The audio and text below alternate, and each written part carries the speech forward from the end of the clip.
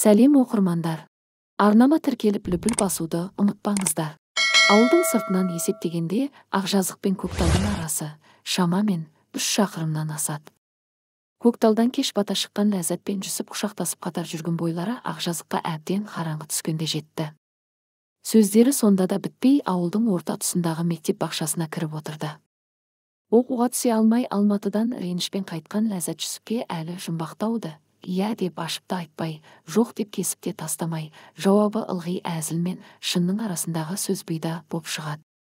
Бес жыл бұрын жүсіп те оқуға түсе алмай күзінде әскерге кеткен. Содан қайтқалы бері оның қолы тимеген ауылдың қара жұмысы қалмады.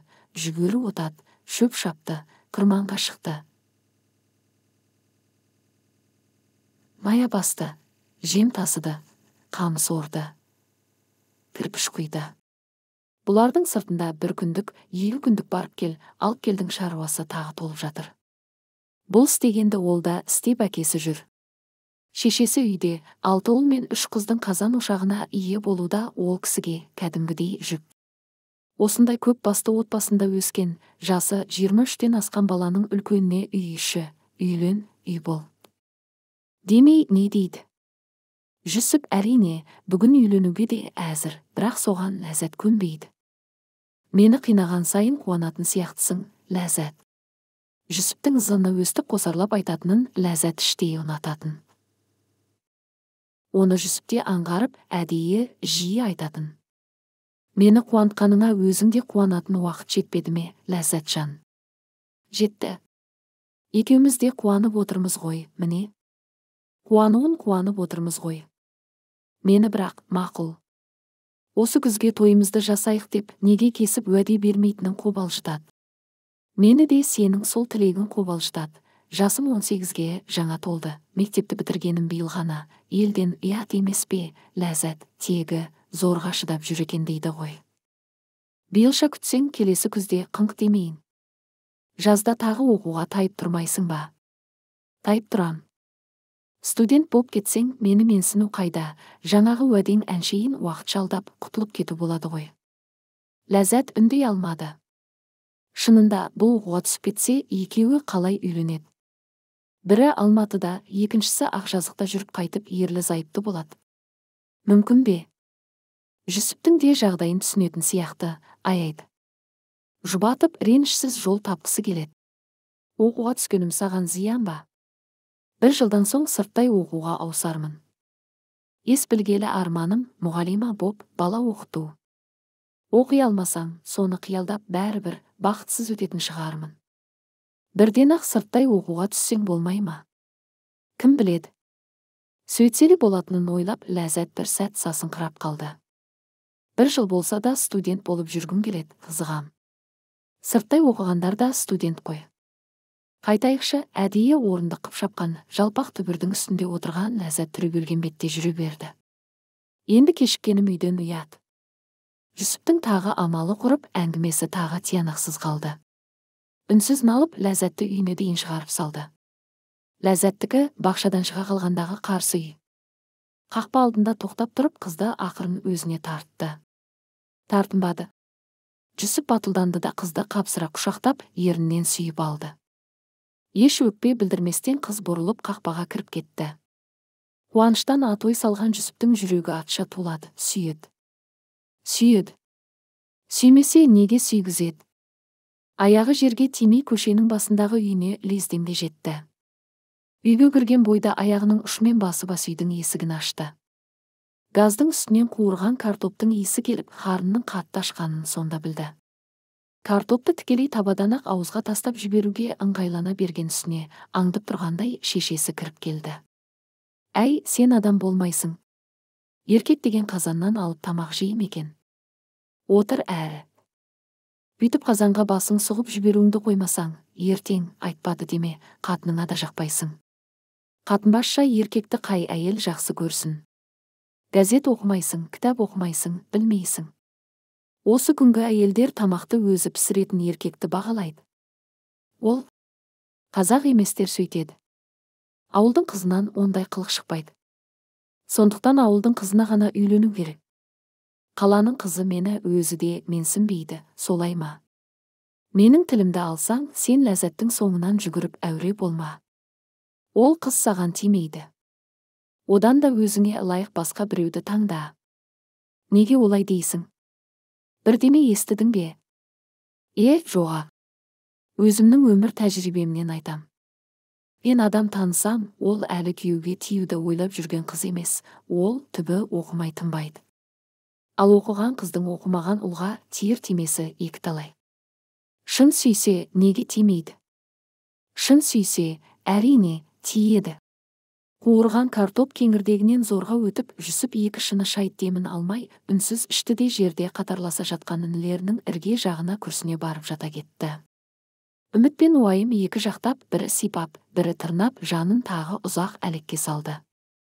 Қолынан ұстатты құшақтатты ернін де сүйгізді сөйте тұра неге бұған тимейді. Тегісі келмесе неге қасына жолатады? Тек биыл емес әуелі оқуға түсейін сырттан оқиын. Сонан соң тиейін деді ғой. Сүймесе өйтіп уәде бере ме? Көніп уәдесін беріп тұрған қыздан қалайша бұл бас тартады? Бас тарта ала ма? Сірә шешесі ләззатты ұнатпайтын шығар алма деп ашық айта алмай содан сипақтатқан айласы болар. Әлде басқа біреуді әпергісі кеп жүр ме? Ақжазықтың үш жүзге жуық отбасы бәрі дерлік бір атаның баласы қыз алысатыны он шақты ғана үй. Оның ішінде ләззаттан өзге оған ұнайтындай кімдер бар?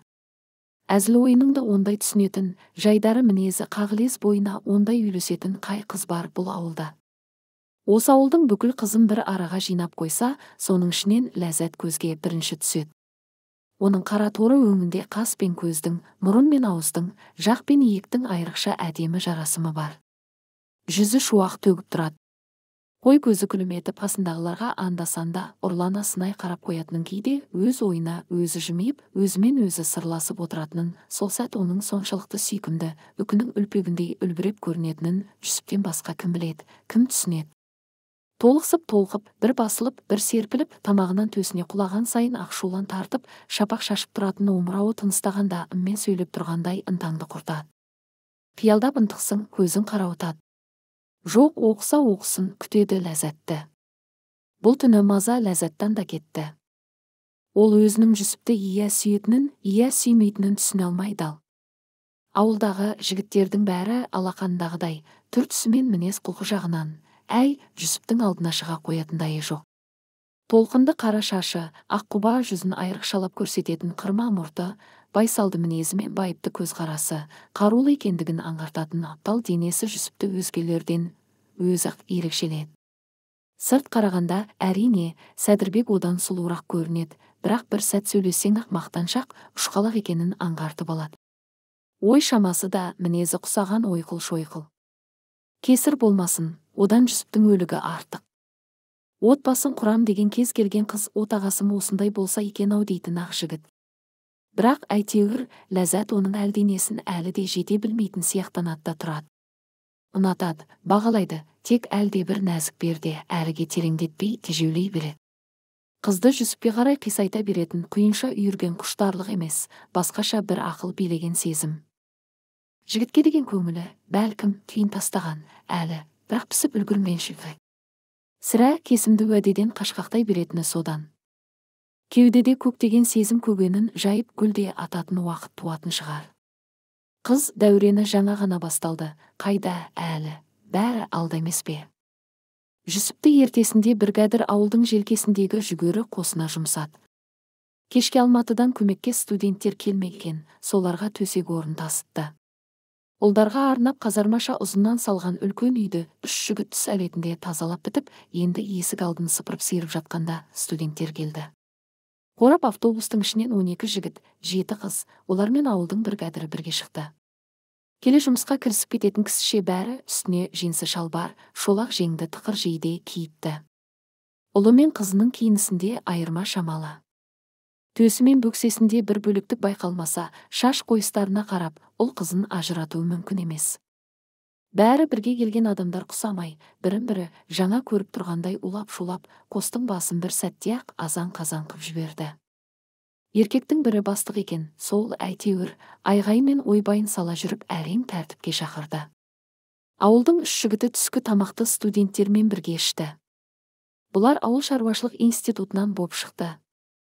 Көбі агроном тек тілеу орынбай демесін деген үш жігіт қана механикалық факультеттен екен. Маған комбайн берсе қатып кетер еді деді бидай өңді балуан денелі тілеу деген жігіт. Жүсіпке ол өзі құралпас ересек жігіт көрінді. Жағындағы қаuma сақалын құлағының сырғалығына дейін түсіріп ұшын сәндеп үшкірлей қырыпты. Бидай өңін қалың көмірдей мұрты табиғи түсінен гөрі ағартыңқырап көрсетеді. Түсі игі тәуір жігіт сияқтанды сен мені көмекшілікке алсаң тіпті қатып кетеді деді демесін күліп. Мені қайда тастайсыңдар? деді орынбай қабағын керіп. Көмекшінің көмекшісі болам ба? Сен біздің терімізді сүртіп сусынымызды тасып тұрсаң жетпей ме? деп демесін тілеуге қарап көзін қысты. Жігіттер қыздар тосын дауысқа дастархан басындағылармен бірге жүсіп те жалт қарады. Клуб меңгерушісі мәлік екен. Қашанғы әдетінше асығыс. Бірақ өте маңызды іспен жүрген болу керек қолын шапалақтап өзін ынта қойып тыңдауға шақырды. Біріншіден алматылық қонақтар келулеріңізбен. Қадамдарыңыз құтты болсын. Екіншіден алдарыңыздағы астарыңыз дәмді болсын. Үшіншіден бүгін клубта хан аспарух атты кинофильм болады. Төртіншіден одан кейін қонақ студенттердің құрметіне би ұйымдастырамыз. Соған шақыра келдім сіздерді. Біздің қыздар мен сіздің жігіттер сіздің жігіттер мен біздің қыздар танысын келіңіздер. Қашан басталады? Қыздардың ішінде ең көріктісі осы ақ сары қыз екенін жүсіп мана автобустан түсіп жатқанда байқаған. Сірә сауықшылдауы да сол болу керек. Дәл тура сегізде деді мәлике ақ сары қызға бұрыла басын изеп. Тамақтан кейін жүсіптер ауылға қайтпақ болды. Кешке дейін құр жатқанда не бітіреміз? Ақыр жұмысқа ертең бірақ шығады екеміз. Мына жігіттермен бірге барып ауылды аралап қайтпаймыз ба? Деді тілеу біргәдірге қарап. Бірақ ол ондай жауапкершіліктен ат-тонын ала қашты. Оны өз бастықтарыңнан сұраңдар. Маған таңертең тоғызда жүгерінің басында сақадай сай тұрсаңдар болды. Тілеу тоқтай тұрыңдар. Біз де бірге барамыз деп ақ сары қыз наздана тілек айтты жүсіп одан іштей өзінше ой түйді екеуінің арасында бір жақындық не жаңадан басталып келеді не бұрыннан бар күндіз студенттердің көше аралағаннан болар кешке жастар клубқа көп жиналды сырттан келгенді сынауға өзін оларға сынатуға ақжазықтың ұл қызы айрықша зауықты әзіл қалжың ойын сауық олардың жиыргасындай ләззат жұрттан ұялып айгүл екеуі жүсіптің жанынан аулағырақ отырған. Екеуі сол сәт сырттан жапырлай тобымен кеп кірген қонақ студенттердің ортасында қалып қойды. Отырып үлгірмей жатып тиісіп ләззаттың оң жағына келген студент бірден сөзге көшті. Сәлеметсіз бе? Орынбай деді қолын ұсынып. Ләззат қыз ұсынар ұсынбасын білмей бүгіліп барып қол созды. Қолын орынбай оңайлықпен қоя бере қоймады. Ұстап тұрған бойы тағы сөйлеп кетті. Алматы ауыл шаруашылық институтының механикалық факультетінде оқитын төртінші курс студенті. Сіздің ақжазық ауылына астық жинауға көмектесе келген 190 студенттің бас бригадірі әй ақыр айтқан соң бас қолбасшысы демедің бе? Ар жағында отырған мұртты жігіт мырс етіп күлді. Біргәдір дегені әзіл мақтан екенін ләззат сезе қойды да сөзіне қарай сөз жұптады абитуриенттен ары аса алмай алматыдан ауылға бір апта бұрын қайтып келген. Ауылдағы ең алдыңғы қатарлы шопыр тоқтарбек деген кісінің оқуы да жоқ тоқуы да жоқ кенже қызы. Әлгі әрде отырған мұртты жігіт тағы әзіл тастады. Қарындас бұл орынбай ағаңның бір сөзіне сенсең екі сөзіне сене көрме айналайын. Өйткені кейін бәрібір өтірігі шығып оның аяғы ағаңның өзіне оңай тимейді. Сондықтан әу бастан ақ сеніп әуре болмағаның жақсы. Әй тілеу досың қызға жамандаған жігітті қазақ қалай деп атайтынын білесің бе? Ойбай ореке жамандады деген жаман сөзді қайдан шығардың? Бұрмаламай шындықты шындық күйінде жеткізгенім үшін де жазықтымын ба? Өтірік болсын шын болсын жеткізуге тиіс емес нәрсені жеткізгенің үшін бәрібір жазықтысың. Біздің құпиямызды қыздарға ашуға қандай қақың бар? Енді ореке ау өтірікшілігіңнің құпия екенін айтып өз сырыңды өзің әшкерелеп алдың ғой құдай атып. Сөйттім бе орынбайдың сасып қалғандай әртістік кейпіне айгүл мен ләззат сықылықтай күліп еді. Айналадағы ауыл адамдары жалт қарасып жалтақтасып қалды. Мен өз миссиямды осымен орындадым. Ар жағын қарындастың өзі білет деді. Тілеу тіктеле алдына қарап отырып жатып. Ей ол не қылған миссия? Мақсатым қарындастың конкурсынан сені мүлде шығарып тастау болатын. Сол мақсат ойдағыдай орындалды дегенім ғой ой оңбаған арамын ай и ләззатжан мынандай арам жігіттің өзі де конкурсыңнан ендігі серең етіп ұшып кеткен болар ә. Қыз әдемі әзілге риза болып өзі де әзіл айтты. Иә аға сіз тыраң етіп едіңіз ол кісі серең ете қалды олар қосыла күлген сәтте лып етіп шам өшті де хан аспарық басталды. Ләззат қараңғылықты пайдаланып қасындағы орынбай мен тілеуге ұрлана көз тастады. Орынбай экранға үңіліп ал тілеуұл да ләззатқа тесіле қарап қалған екен. Қыз әдейі емес әншейін бұрылған кісіше бетін тез аударып әкетті. Бірақ неге екенін жігіт бұған ба жоқ басқаға ма кімге сонша тесіле көз сап отырғанын тағы бір зер сап анықтай түскісі келе берді. Соны анықтамаса дәп қазір содан үлкен нұқсан тартатындай ақ өз өзіне мазасы кетті. Ақыры бетін бұрмай ұрлана көз қиығын салып әлі тілеудің сол тесілген қалпы қозғалмай отырғанын көрді. Қызды енді қорқынышқа жақын жұмбақ бір сезім биледі. Ойыны ма шыны ма мына жігіттің. Кинофильмнен кейін кілең жастар өзгелерден кейін деп өз өзінен іріктеле берді. Арғы жағын мәлике үйреншікті жолмен өзі үйіріп әкетті. Алғашқы биге ләззатты жүсіп шақырды. Оның иығына қолын соза беріп әдемі ақ сары қызды тілеудің өзі сонадайдан барып биге шақырғанын қыздың көз қиығы шалып үлгірді. Ә деді іштей сыр түйіп. Жан сүйерің қасыңда жүрсе де басқаларға тесіліп қарай беретін қу екенсің ғой. Үшінші би басталған сәтте тілеудің өзіне қарай тура тартып келе жатқанын байқап ләззат жалма жан жанында тұрған жанан деген жігітті ортаға тартып билей жөнелді. Жасы кіші аталас жігіт әпкесінің қылығын ерсі көрген жоқ. Ініге жасаған ілтипаты шығар деп ойлады. Тілеу алайда тоқтап тосырқап қалмай түкті де түсіне алмай дағдарып тұрған айгүлмен билетте кетті. Оның өйтіп сыр беріп саспағаны бір түрлі ләззаттың шамына тиді. Ұрлана зерсап әр қимылын аңдып назары тек тілеуге ғана ауып кеткенін бала қыз байқамады. Әккі санап жігітті іштей жақтырмай тұрғанда бірақ неғып қайта қайта көзі түсе беретінін өзі де түсінбеді. Жас бой жеткен сөйтіп жүріп кенеттен кенет жүсіпке ренжіп қалды. Оның бар жазығы билеп жүріп жүрші далаға шығып кетейік.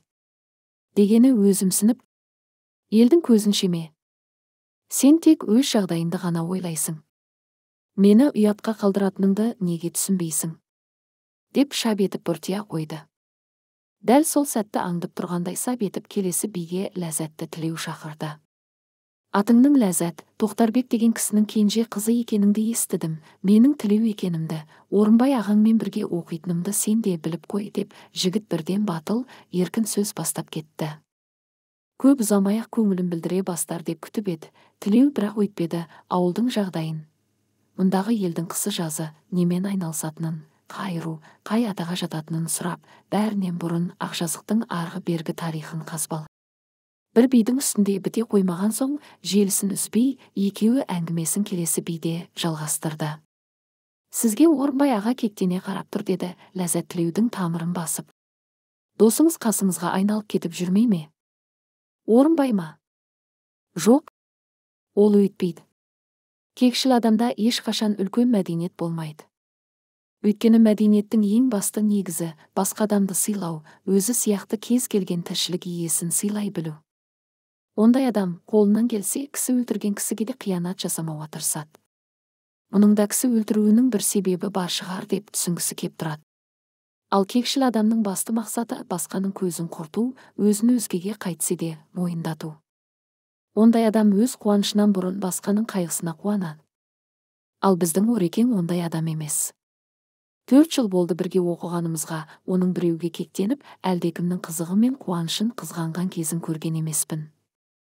Өзіне талай жамандық жасаған жігіттерді де кешіре білді ғой. Ондай жігітті ләззатжан күллі қазақстаннан іздеп таба бермейсің. Жүсіп құсап бұл да ләззат дегенді екі мен айтты. Және бір түрлі еркелетіп айтты. Өзінің әдемі ақ сары қызы бар болғасын. Мұны сірә орынбай досына ыңғайламақ қой. Өйткені оны өлгенше мақтау жаман. Би тоқтап екеуі шеттеу барып тұрысты. Айгүл сенің ең сенімді досың ба ләззат қыз не дерін білмей састы. Иә десе онысы. Әрине өтірік ал жоқ десе жақын жүретіндіктерін жасырғаны сияқты. Шынымды айтсам деді қиналып аса сенімді досым жоқ ау деймін. Айгүл екеуміз жаңа жаңа жақындасып жүрміз. Олар аққұдық деген ауылдан былтыр ғана көшіп келді. Қыздың ең сенімді досы жігітте бола алады ғой жігіттен де жоқ па? Жігіттің тым тура шабуылы жынына тиіп әуре болмаңыз жігітім бар дегісі келді. Бірақ сыпайылап бар деп қана қысқа қайырды. Кім ол? Осында жүрсе көрсетші осында бірақ көрсетпеймін көрсетпесең де білем кім? Білсеңіз айтыңызшы жүсіп таптым ба? Неге олай ойлайсыз? Өйткені одан лайықты ешкім жоқ әдемі жігіт. Жүріс тұрысы да ұнамды. Өтірік мақтап тұрған жоқсыз ба? Сіз оны әлі білмейсіз танымайсыз да ғой. Мана қоста таныстық бірге тамақтандық біраз әңгімелестік. Кез келген жақсы адам бір көргенде жаман жақтарын жасыра біледі ғой әрине. Әйткенмен алғашқы әсер көбіне алдамайды. Менің білуімше жігітің жаман болмау керек. Өзің бірақ онша емессің. Оны байқағаныңызға рахмет. Ләззат деді орынбай келе қолынан ұстап менімен бір билеген қыз өмір бойы бақытты боп өтеді. Саған да бір бақыттылық сыйлағым кеп тұр. Ондай сыйдан есі бар қыз қашпайды ғой аға. Тілеумен әлі де әңгімелесе түскісі бар еді.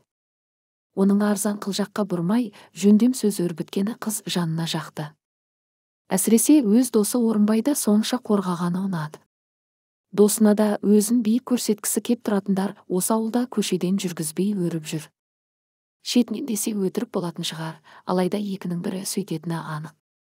Тілеу тағы сол ақ сары қызбен билепті. Аузы аузына тиіп кете жаздап екеуі тым жақындап сөйлеседі. Бірдеме деуге ыңғайланып орынбай құлағына еңкейе бергенде әлдекім қызды ту сыртынан итеріп жіберді. Сүйіспек кісілерше екеуі еріксіз беттесіп қалды. Билеп жүргендердің бірі байқамай қағып кеткен шығар деп жалт қараған ләззат қабағы түксиіп түртіп қалсаң бетінен түтін бұрқ ете қалардай тырсиып тұрған еркінді көріп көзі тас төбесіне шықты. Еркін саған не көрінді? Қорыққаннан тізесі дірілдеп қыз орынбайға еріксіз сүйенді болды. Менімен билейсің. Алдындағы ләззатты азар көріп тұрғандай көзін жыпылықтата жұмып кіржитіп қайта ашты. Қатты мас жарайды. Келесі де билейік жоқ қазір қолын зорға икемдеп қыздың беліне қарай созды. Біз билеп болайық содан кейін билейсіз деп орынбай қызды батыл өзіне тартты да билеп ортаға ұзай берді. Ызаланған еркін артынан тап беріп кеп құлаштай ұрды. Би ырғағымен орынбай бұрылып кеткенде еркіннің жұдырығы ләззаттың тура шүйдесінен тиді. Қыз оқыс шыңғырып жіберді. Тағы оқталып енді орынбайды ұруға қолын көтере берген еркінді ту сыртынан кеп тілеу құшақтай алды. Біздің қыздармен кезек кезек билеп. Сендер кімді басынасыңдар? Біз адам емеспіз ба? деп еркін өзінің тиісу себебін түсіндіріп тастады. Кім ей бұл? Жібер ой оңбаған сен ләззатты ұрдың ғой деп тілеудің құшағында тырбаңдап тұрған еркінді айгүл бүйірінен бір түртіп қалды. Оған сол керек. Сауап бөтен жігіттермен билемейтін болады сені де солай соғу керек. Айгүлге айбат шегіп тұрған еркінді тілеу ұрған да жоқ боқтаған да жоқ сол құшақтаған бойда тік көтеріп алды да далаға алып шығып кетті. Ырттарынан ауылдың үш жігіті қоса шығып бара жатқанын көріп өз жігіттеріне жүре ым жасап орынбай да далаға ұмтылды. Айналшақтап қасына жақындай берген жүсіпті ләззат есікке қарай итерді. Баршы төбелестірмеші. Жігіттер ұят қайда? Ауылға келген қонаққа қай қазақ қол жұмсаушы еді? деп мәлике де айғайын сап далаға қарай жүгірді. Төбелеске айналып кете жаздаған осы жанжал ләззат үшін жүсіп пен тілеуді өзінше өлшеп салыстыра қарайтын таразы болды. Қалай тура сөйлесе солай тура істей де алатын тілеудің батыл әрекеті қыздың есіне еріксіз қайта қайта түсе береді. Егер ол еркінді көтеріп әкетпесе аузына келгенін айтып әбден елді масқара қылары сөзсізді. Онда бәрі құдай біледі төбелеспен аяқталатын еді. Шіркін ай тілеудің сол істегенін жүсіп істесе ғой. Еркінді көтеріп әкетуге оның да шамасы жететін еді. Тек әттең тағы не болар екен деп ол да өзгелермен бірге қарады да тұрды ау. Тіпті жүгіріп кеп еркінді соның сүйреп әкететін жөні бар ғой. Әншейінді кеуделері аяқ қаптай жеме жемге келгенде жігіттер өз ауылының тентегін өздері тыя алмады ау тым болмаса. Басқамен билет қыздарды қызғанғанын қайтерсің тағы. Нағыз барып тұрған іштарлық еккен жүгеріні тек техникамен жинап алуға комбайн жетпейді. Сондықтан совхоз қолмен жылуға да көп күш жұмсайды. Екі үш күннен кейін елмен бірге ләззат та жұмысқа шықты. Айгүл екеуі әйелдермен бірге жүгері жұлатын болды. Ауыл жаңалығын тарату жөнінен әйелдер тегі таптырмайтын мамандар болып шықты. Айгүл мен ләззат ақжазықтың күллі оқиғасын солар арқылы елден бұрын естіп алады. Таңертең бір бірімен амандасқан сәтте олар естігендері мен білгендерін бір біріне лақ еткізіп сөз арасында ақтара сала. Иә сенің бүгін неғып шікірейе қалғаныңды білем дейді. Біреуі анау шікірейіп тұрмаса да әдейі тиісіп. Қызыңды ұзататын бопсың ғой. Бұдан қалталы көрінеді әкелгенін жалғыз жемейтін шығарсың. Е елге бер деп әкелгенін ел жейді. Елмен бірге сен де жейсің өзіңе ғана дегенін өзім жеймін оған тісің қышымасын деп анау да қарап жатпай басқа біреуді ол да қарауылына білет. сен ылғи мені қажай бергенше ана ар жағыңда тұрған жеңгеңді қыса. Меркідегі қызы мен күйеу баласы қыдырып кепті. Екі екі шамаданнан үйге әрең көтеріп кіргенін көргендер бар. Енді әйелдер шулап кеп әлгі жеңгесіне жабысады. Ол да жайына тұрмай әлдекімнің құпиясын тағы ашып береді. Сол ретпен ауылдың айтылмаған жаңалығы да қалмайды. Кей кейде сырт біреулер жайында анық қанығына көз жетпейтін қиянат сөздер де айтылып кетеді өсек аталатын әйгілі бәлесі сірә сол болса керек. Алматы студенттерінің кейбір сырын алғаш екі қыз осы әйелдерден естіді. Олардың айтуынша жұмыстан кейін кешкісін алматыдан ала келген арақ шараптарын ішіп отырып екі жігіт бір қызды бір бірінен қызғанып төбелесіпті де басы жарылған біреуі қазір көкталдың ауруханасында жатқан көрінеді. Сөзді көбейтпес үшін жасырып бастықтары өзі жығылып қалды дей салған сияқты. Ләззат соны естігелі тілеу мен ақ сары қыздың қайта қайта билегендерін көз алдына елестетіп төбелестің себепкері сол екеуі шығар деп күмәнданады. Қызғанбайтын сияқты бірақ ақсары қызға қызығады. Тілеудей тамаша жігіттің теңі болғанына білім қуып қасында қатар жүргеніне қыздың жүріс тұрысындағы сенімділік пен еркіндік оқығандықтың әсері екенін түсініп өзінен артық санап мойындап ұқсағысы келіп қызығады. Егер тілеу ақ сары қызға бола төбелессе онда деп ойлайды ләззат өзінше жорамалдап екеуінің арасы әлі піспеген дүмбілдеу нәрсе. Өйткені көп ұзамай үйленетіні анық адамдардың арасына бейтаныс болса бір сәрі қасында жүргендер қыстырылыспайды. Ал тіпті олай болмаған күнде бірге оқитын жолдасына тілеудің қол жұмсауы ләззаттың бағалауынша оның да аса дархан жігіт еместігін дәлелдейді. Қалайда төбелес шығарғаны қыз жорамалындағы тілеуге түкте ұқсамайды. Таяқ жеп ауруханада жатқан бәлкім тілеу шығар деген күдік қыздың ойында қисынсыз нәрсе. Оның бітім тұлғасы таяқ жеп басы жарылатын адамға ұқсамайды. Және байқауында оны ұрып жығатындай жігіт ол ортада болмаса керек. Сол күні кешке жүсіп екеуінің әңгімесі онша жараспады неге өйткенін өзі де жөнді білмейді жолыққаннан ақ қыз жатып кеп кінәлай жөнелді. Құрғақ уәдемен қарық қылғаныңмен сен мені шын сүймейсің деді салған жерден. Ойбай құдай оны қалай құмалақ ашып білдің бе? Қатты сөздің тігісін жүсіп қалжыңмен жатқызбақ еді. Болмады. Бәле жаладан зорлық зомбылықтан қызды алдымен әке шешесі қорғайды деді ләззат үлкендерден естігенін айтып. Одан қалса бауырлары олар жоқ жерде өзінің сүйген жігіті. Түнеугүні сен мені қорғаған жоқсың. Демек сүймейсің. Бәлкім сүйе алмайсың. Айдаладағы бөтен жігіт қорғады. Мен үлгермей қалдым ғой ләззат. Қойшы айтқаныңның бәрі тек сылтау. Менің сүйген жігітім кім өзі? Сен бе? Тілеу ме? Әрине мен. Ендеше мені неге сүйген жігітім сен қорғамай? Қайдағы бір тілеу қорғайды. Сен мені еркін сияқты маскүнемнен де қорғай алмасаң онда ертең кімнен қорғай алады деп сенем. Өз қызын өзі қорғай алмайтын жігіттің несі жігіт? Жарайды ол күні тілеуден бұрын үлгіре алмаған ақ шығарсың. Ертесінде еркінді неге желкелеп алдыма алып келмедің? Неге кешірім сұратпадың? Көрінген маскүнем елдің көзінше қол жұмсай беретіндей кім едім мен саған?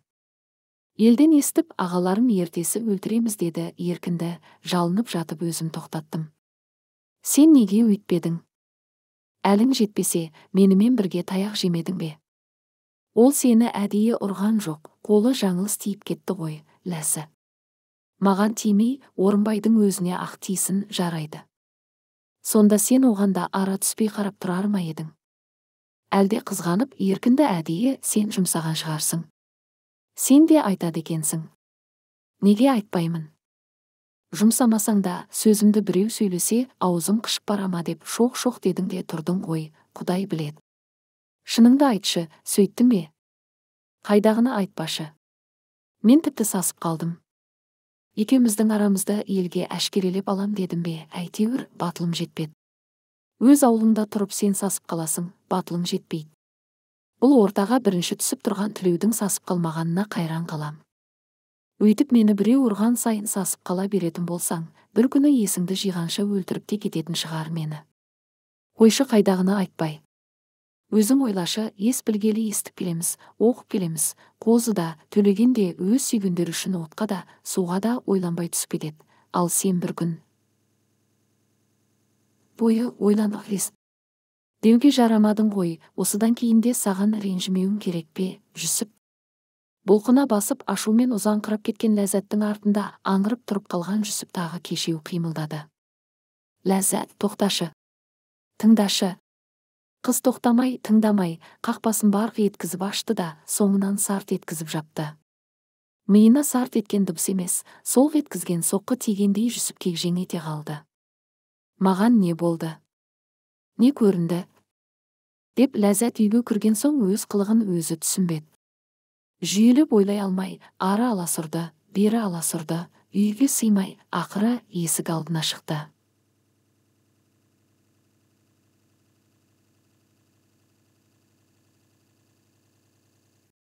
Әлі күтіп тұрма деп қақпадан шығып жүсіпті қарады. Кетіп қалыпты. Сүймейді. Сүйсе кішкене күте тұрар еді деді оны кінәлап. Ақырында өзін өзі ептеп ұға бастағандай болды. Бұған керегі жүсіптің сүйгені емес сүймегені сияқты. Бұрынғыдай оның жақсылығын емес кінәсі мен кемшілігін іздейді неге өйтеді? Соңғы күндері жүсіптен гөрі тілеуді жиі ойлайтын боп барады. Жүсіп те сондай болса соған ұқсаса дейді. Кенет ләззат өз күдігінен өзі шошынды.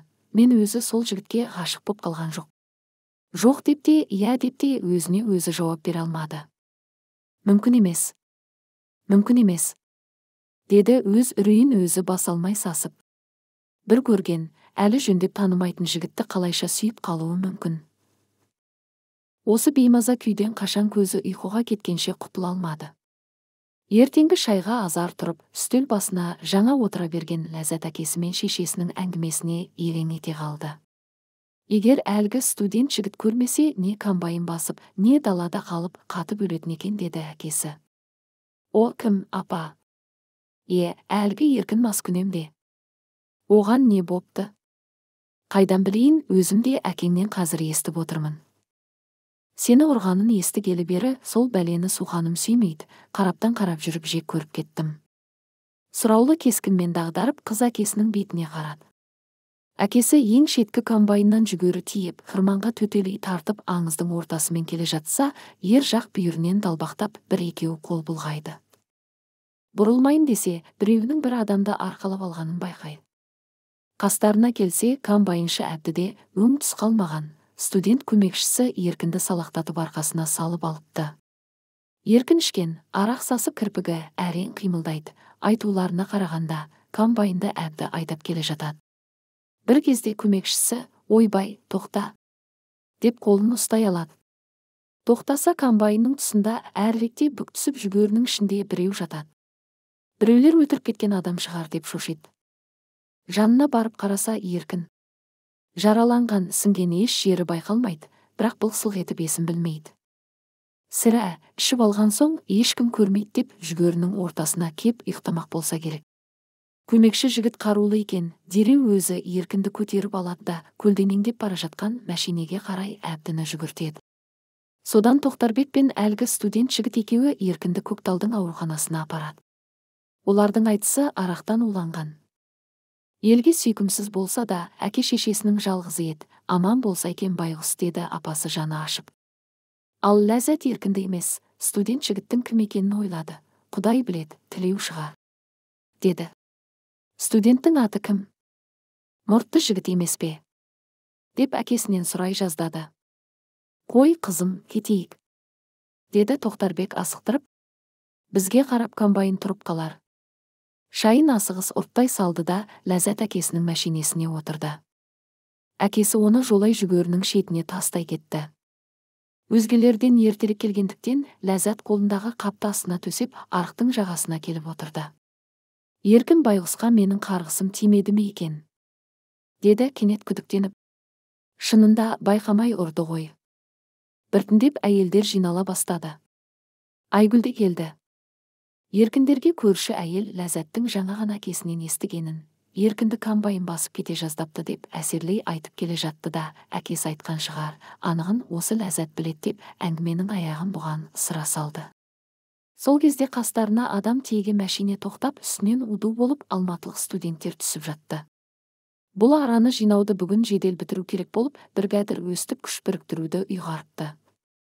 Айгүл мен ләззатке сонадайдан қолын көтере сәлемдесіп орынбай жылы ұшырай жақындады. Ақ сары қыз да қуана амандасып бұларды астаналық студенттер көзді ашып жұмғанша қоршап алды. Іштерінде тілеу жоқ екенін ләззат әдегеннен ақ байқады. Ол комбайнда кеше еркінді көтеріп жүрген сол деді жедел ой жорамал жасап. Орынбай айгүл ақ сары қыз оның аты бақытжамал екен демесін деген жігіт бәрі қатар жүйекке түсті. Бұрыннан таныс біліс жанша өз ағасынан мен үшін таяқ жеген ләззат ау шүйдіңнің ауырғаны басылды ма?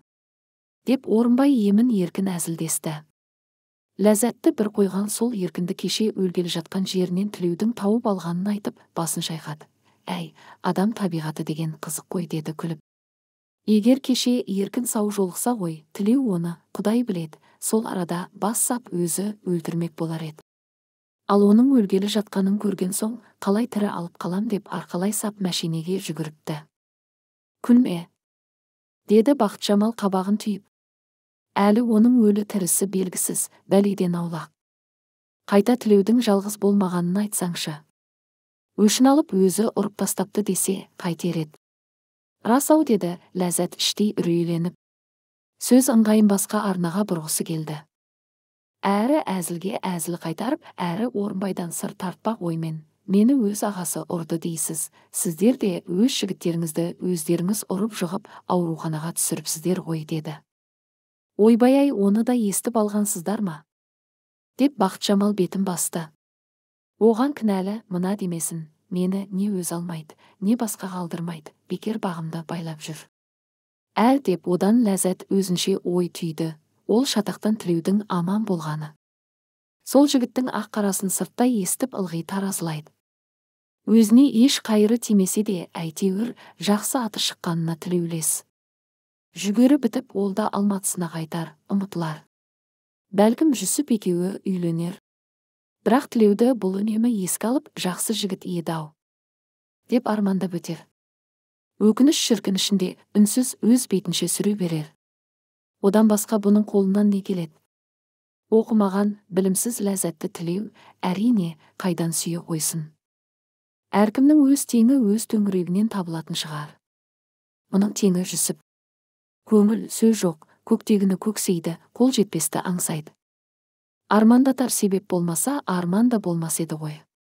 Тілеуді көрмесе де өтетін өмір еді құдай соны несіне көрсетті десеңші. Одан да мұны сөйтіп жүсіпке ұмтылтып қойсашы. Неге сөйтпейді? Ол да жақсы жігіт ешкімнен кем емес. Бірақ қыз сірә кез келген жақсы жігітті тіпті ең жақсы жігітті де емес жаман болсын жақсы болсын тек өз көңілі танығанын ғана сүйетін болу керек. Қыздың табиғатын құдайдың өзі қағажу жаратқан. Қарашы тілеудің ойына түк те кіріп шықпайды. Тып тыныш жайымен жүр. Ал бұл оны сырттай аңсап өзімен өзі әуре сарсаң. Осы білмеген сезбеген күйі кетеді ол ертең алматысына. Қайтып кездеспейді көріспейді бітті. Мәңгі бітеді сонымен. Қандай әділетсіздік. Піскен жүгеріні жұлып жұлғандарын бір араға жиып жүйектің шетіне бұлар жылдам шықты. Бір бірінің бас аяғын күтіп сәл аял қылған сәт ләззат бақытжамалдың қасына келіп отырды. Сіз қандай бақыттысыз сізге қызығам деді қастарына отырып жатқан демесінге естірте. Е қызығатындай менен не таптың? Жүсіптің өзін еркінен қорғамағандығын әлі ұмыта алмай жүрген ләззат. Сізді қорғап сіз үшін демесін аға біреудің басын жарыпты. Қорғаушы адамыңыз барсыз бақытты болмағанда кім бақытты? Е сіңілім ай сол ма бақыттылық деп жүргенің онда сен менен де бақыттысың. Сені әнеугүні клубта тілеу қорғады ғой. Ләззат қып қызыл боп кетті аңдамай сөйлегенін кеш аңғарды. Бірақ бақыт жамалдың сен менен де бақыттысың дегеннен тілеуді оның жақсы көретінін анық түсінді. Үміт пе әлде дәме ме әлдене көңіл түкпірінде бүлк еткендей болды әлгі сөзіне қарағанда. да әлі қыз жүрегі лүпілдеп жиі соғып кетті тілеудің сонда хан аспарыққа қарамай бұған қарап отырғанында бір сыр бар сияқтанды жылт еткен үміт сәулесі қыз жанын өзгеше күйге бөлеттей жіберді орынбай аға деді қуанғанынан әлі бірақ орынбайға не айтпағын ойланған да жоқты орынбай аға ләззатжан байқашы жан жағымызда ақжазықтың жігіттері жоқ па тағы біреуі желкемізден түйіп кетіп жүрер.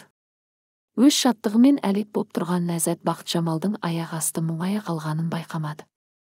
Қайтадан жүйектің басына шыққанда бақытжамал ләззатке ғана сіңілім менен сен бақыттысың деді сыбырлағандай сен жолықпағанда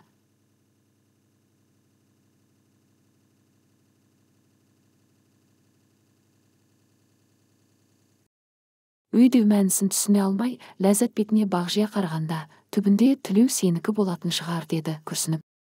Сол кеш көзін ол сенен ала алмады. Менімен билеп жүріп те екі көзі сенде болды. Бала емеспін бірдемені білем ғой ләзі. Қас қағым сәтте қыз көңілін қыруар сезім шарпыды. Қуанды. Қорықты. Үміттенді. Күдіктенді. Бақыт жамалдың бет жүзі бұзылып кеткенін көріп қойыңызшы. Сіз тегі. Деп не айтпағын білмей өз сөзінен өзі жаңылды. Совхоз науқан кезінде жексенбіде де жұмыс істейді. Соның қарымтасы болсын дегендей аптаның аяғы сенбіде мәлике тағы би кешін ұйымдастырды. Ол бір ғажап кеш болды. Студенттерді басқарып келген кісі әрберіден кейін билікті қолына алып кешті өзі басқарды. Біресе жаппай біресе бір бірден екі екіден беретті. Студенттерге де ауылдың қыз жігіттеріне де кезек кезек ән салғызды. Өзі баянды да домбыраны да тәуір тартады екен. Әнге де қосылды биге де қосылды. Әйтеуір концертке бергісіз сауық жасады. Орынбай мен демесін кезек кезек күй тартты. Тілеу мен жүсіп те бақытжамал мен ләззат те басқалар да бәрі ән айтты. Ләззатты биге тілеу үш төрт қабат шақырды. Жалпы жұрттың ауажайы жақсы болғасын ба? Екеуі әуелден ақ еркін сөйлесті. Бақыт жамалдың әлгі бір сөзі шындық па жоқ па деген ой ләззаттың көкірегінде түйін боп тұрғанды. Соған көз жеткізгісі кеп үнсіз бақылап іштей күтуде болды. Екінші рет билегенде барып сенің жігітің барын білдім ғой деді. Тілеу бір әңгіме бастағысы келіп. Сіздің қызыңыз барын мен де білдім қой өтірік айтпа мендегі қайдағы қыз. Кім ол? Бақыт жамал. Оны кім айтып жүр? Ол екеуміз осында келерде ғана таныстық қой. Басқа факультетте оқимыз бір бірімізді бұрын көрмеппіз. Кім саған ондай өтірікті айтып жүрген жүсіп пе? Оның сізде несі бар? Шыныңды айтшы жүсіпті шын сүйесің бе? Ләззат жауап бермеді. Қалай түсінсе солай түсінсін деген оймен үндемей құтылғысы келді. Қазір оның үстіне жүсіпті сүйетінін де сүймейтінін де өзі түсіне алмай жүргенді. Неге жауап бермейсің ләззат мен өз шындығымды жасырмай айтсам ренжіп қалмайсың ба? Қыз үнсіз ғана басын шайқады. Жігіт мақұл көргені деп ұқты сенесің бе жоқ па ләззат мен сені жақсы көріп қалдым. Селк етті ме ләззат сүрініп кеткендей болды. Тілеу қызды қысыңқырап бауырына тартты. Шын айтам ләззат мен сені сүйем. Жүсіптен ұят екенін біле тұрып бүйтіп айтуға қақым жоқтығын бәрін түсінем. Бірақ сол кез әуен үзіліп би тоқтап қалды. Жігіт әңгімесін жалғастыра алмады. Қыз жауап қатпады. Жауап айтар халі де жоқты.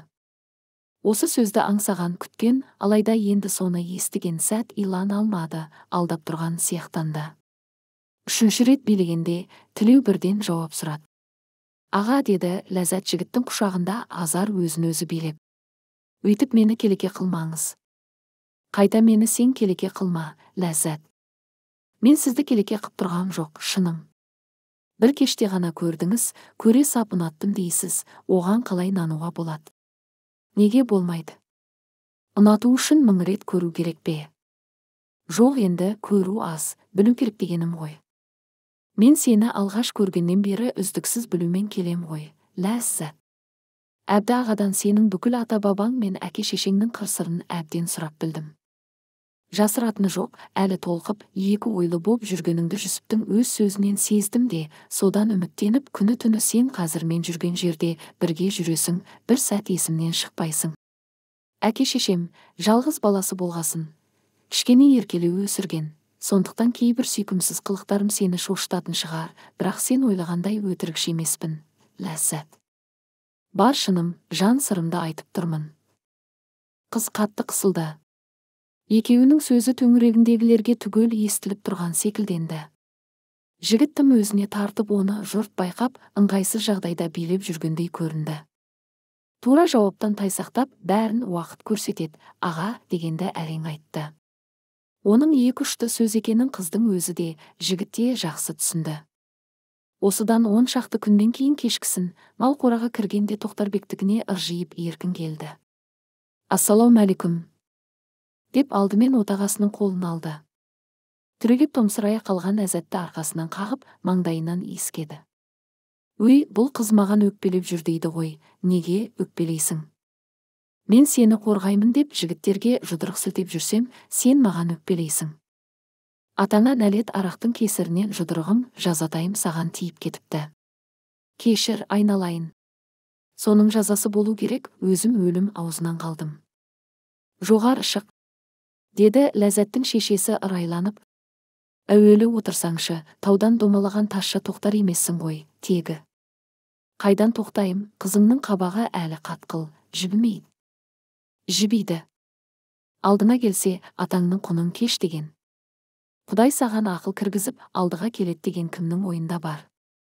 Иә десеңші өзімнің де ойымда жоқ еді сол күні шекісіп қалатын әлгі тілеу деген жігіт өй өзі бір жақсы жігіт екен қазір екеуміз компанбыз. Сол айтты қарындасыңа барып кешірім сұра деп. Жөн екен дедім. Хирургияда бір студент жатты. Күнде кешкісін жаяу оған тобымен келеді де түнге таман бірақ қайтады. Әңгімелесіп бәріміз бірге отырып жүрдік. Еркінді тілеу әдейі әсер ету үшін жұмсат деп ұйғарды ләззат. Орынбай бақыт жамалдарды жұмыста күнде көреді. Ал комбайн алыста басқа алқапта. Тілеуді сондықтан көруі қиын. Орынбай айтпақшы адам табиғаты қызық ау күні кеше ғана тілеу маған титтей ілтипат білдірмейді ау деп өкініп еді. Енді оның сүйем дегенін естігелі бері бір түрлі соған сенгісі келмейді. Біліп бағалап емес асығыс ұшқалақ айтып қалған сөзіндей секемдене береді. Құдай ау тегі қандай оңбаған қыз едім? деп өзіне өзі таң қалады жүсіптің айтқанына көнбейді ал тілеудің айтқанына сенбейді. Соңғы кезде күнде орынбай құлағына сыбырлап бір кісі саған сәлем айтты дейтін болды. Сағынып жүрмін дейді. Сәлемет болсын дейді қыз біреулер естіп қала ма деп қысылып. Мәлике тағы бір би кешін ұйымдастырды. Жүсіп сол күні ләззатке ашық ренжіді. Сен мені алдап жүрсің тілеуді сүйесің деді ашуланып. Солай ойласаң онда өзің біл деді. Қыз да бұлтарма жауаппен қылт ете қалып. Ал тілеу тағы жалынып жауабын сұрады. Енді аз күнде алматыға аттанамыз ләззатжан. Екі үшті қылмай жөн жауап берші деді. Мен екі үшті емеспін тек сізге сенбеймін деді ләззат бір сәт ашылыңқырап. Қалай сендірем? Не істе дейсің? Ештеңе істемеңіз. Алматыға барған соң бәрін ұмытасыз. Қинамасаңызшы. Мұнда жылатып кеткенде сізге одан не түседі? Жаным ләззат мен сені ұмыта алмаймын сағынамын. Көзіңнен кеткен соң көңіліңнен де кетіп қайта алдымен сен ұмытарсың. Мен ұмыта алмайтын шығармын. Қыздың үні бұзылып барып басылды. Ұмытпаймын дегенің бе ләззат маған осы жауабың да жетеді жаным. Тегі бәрі құрысын бірге алып кетейінші алматыға. Көнші соған. Біздің ауылда қыз өйтіп жігітке өзі ілесіп кете бермейді. Оның өз жөні болады. Барлық жөнін жасайын тек осы сөзіңнен айнып кетпеші. Әуелі алматыға барып бір екі ай ойлаңыз. Есіңізден шыға қоймасам көресіз ғой. Екеуінің бір біріне қойған сынағы да берген уәдесі де сол тұспал сөзбен бітті. Студенттер алматыға қайтқан күні ләззат үйде жалғыз ұрланып жылады. Тілеуді сонша тез ұнатып қалғанына өзін өзі жазғырды. Оны өзінің ешқашан ұмыта алмайтынын көңіліндегі оның орнын ешкімнің толтыра алмайтынын қыз жүрегі қапсыз түсінді. Бақытсызбын. Тез сүйдім тез айырылдым деді өз дәрменсіздігін мойындап. Ертең ақ тілеудің есінен шығып кететініне астананың уылдуы мұны ұмыттыратынына қыз ішкі өз түйсігімен кәміл сенді. Өкініштісі сол екі ортада жүсіптен де айырылды оны өзінің сүймейтіндігіне жола көзі жетті. Арада он шақты күн өткенде кешкісін тоқтарбектің қақпасына алматылық ақ сұр волга келіп тоқтады. Үйде ләззат пен шешесі екеуі ғана тын. Қақпадан кіріп келе жатқан тілеуді көргенде ләззат әуелі жүгіріп барып бас сала жаздады. Іле шала артынан келе жатқан самайына ақ кірген егделеу еркекке өз әкесі құралпас ақ сары кісіге шешесі қарайлас ақ құба әйелге асығыс сәлемдесті де үйдің есігін ашып апа деді ішке еңкейіңкіреп қонақтар келді. Үлкендер үйге кіріп тілеу артқа ысырылып сыртта қалды. Ләззатжан деді есікті жаба беріп. Қызға қарай қолын соза ұмтылды. Ләззат қозғалмады қолымен тек бетін басты. Көз жасы ытқып кеткенін алақанына соққан ыстықтан ғана сезді. Ұят екенін қазір шыға келсе апасы көріп қалатынын ойлап біліп ақ тұр бірақ тілеудің құшағынан басқа қашып тығылар ол үшін енді тұрақ жоқты. Жаным деп құшып ерінен ол еміне сорғанда басы айналып иығына жығыла берді. Ләззатке құда түсе келіпті деген хабар ақжазыққа сол кеште ақ тарап үлгерді. Біреулер жүсіпті алдап кетті сатты деді. Біреулер дұрыс сүйгенін енді тапты деді. Қыз қалайда жүсіптің биыл күзде үйленейік дегеніне көнбеп еді тілеудің дәл бүгін үйленуіне де қарсы болмады. Қазақша контентті қолдап арнама тіркелуді ұмытпаңыздар. Және де менің каналыма кірген кезде осы жерде плейсте деген бөлім бар. Осы плейсте бөлімінен өздеріңізге керекті видеоларды пайдалы кеңестерді аудиокітаптарды және де қазақша әңгімелер және де жаңадан шыққан әңгімелерді тыңдай аласыздар. Арнама тіркелуді ұмытпаңыздар. Жетпіс мың оқырман бар екен жүз мың оқырманға жету үшін бар болғаны отыз мың оқырман қажет. Сондықтан давайте бәріміз арнама тіркелуді ұмытпайық.